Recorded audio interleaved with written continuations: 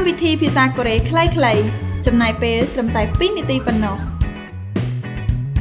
ជំរាបសួរអញ្ញងអាសេអូជួបគ្នាសាជាថ្មីក្នុងកម្មវិធីភាសាកូរ៉េខ្លីៗរបស់ KLC ថ្ងៃនេះដែរខ្ញុំចង់បង្ហាញអ្នកទាំងអស់គ្នាអំពីការងារជាភាសាកូរ៉េ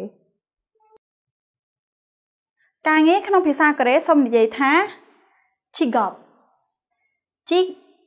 op chigop បន្ទាប់ការងារទី1គឺ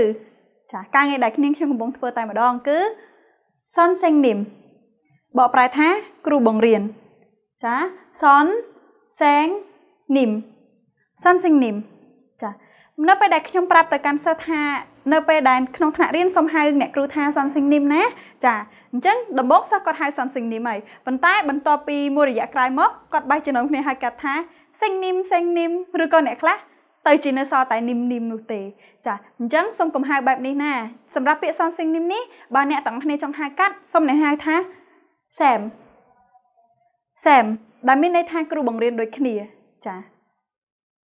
បន្ទាប់គឺបុគ្គលិកក្រុមហ៊ុន ភាសាកូរ៉េថាហွេសាវុនហွេសាវុនហွេសាវុនចាហွេសាហွេសាយើងអាចបកមួយទៀតថាក្រុមហ៊ុន ចំណែក face face សាវុនគឺបុគ្គលិកក្រុមហ៊ុន បន្ទាប់គឺស្ត្រីមេផ្ទះភាសាកូរ៉េថា chubu chubu chubu បន្ទាប់មកគឺគ្រូពេទ្យគ្រូពេទ្យភាសាកូរ៉េថាអ៊ុយសាអ៊ុយសាអ៊ុយសាបន្ទាប់គឺប៉ូលីសភាសាកូរ៉េថាខ្យងឆាល់ខ្យងឆាល់ខ្យងឆាល់បន្ទាប់គឺកសិករភាសាកូរ៉េថានុងប៊ូ នងប៊ូនងប៊ូ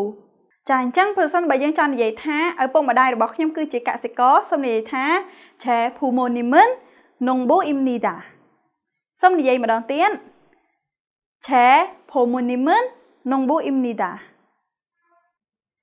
ចុះសម្រាប់ពាក្យអ្នកអត់មានការងារធ្វើវិញ ភាសាកូរ៉េនិយាយថាម៉េចទៅដឹងទេចាសូមនិយាយថា peksu សូមនិយាយម្ដងទៀត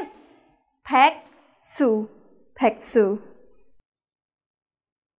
ម្យ៉ាងវិញទៀតប្រសិនបើយើងចង់សួរគេជាភាសាកូរ៉េថាតើអ្នកមានមុខរបរជាអ្វីដែរឬក៏មានការងារជាអ្វីសូមសួរថា chigabi moyo ចាអញ្ចឹងនៅពេលដែលឆ្លើយឆ្លើយរបៀបណាទៅចាអញ្ចឹងសូមអ្នកឲ្យឆ្លើយរបៀបនេះគឺដាក់ច្រនឿនបន្ទាប់មកមកមកមកភ្ជាប់ជាមួយនឹង imnida ចាឧទាហរណ៍ខ្ញុំគឺជាគ្រូអញ្ចឹងខ្ញុំឆ្លើយថាច្រនឿនសនសិនីមីមនីដា ខ្ញុំគឺជាគ្រូបង្រៀនអញ្ចឹងសូមជួយបំពេញខាងក្រោមនេះផងថាតើមុខរបស់អ្នកទាំងអស់គ្នាគឺជាអ្វីអរគុណសម្រាប់ការតាមដានទស្សនាវីដេអូភាសាកូរ៉េខ្លីៗលើកនេះជួបគ្នានៅវីដេអូលើក្រោយលើក្រោយទៀតជម្រាបលាអញ្ញងងីខេសេអូ KLC បើកវគ្គដំបូងនិងវគ្គសន្ទនាជារៀងរាល់ដើមខែចំណែកឯវគ្គវិញ្ញាសាបើកជាប្រចាំ KLC សូមស្វាគមន៍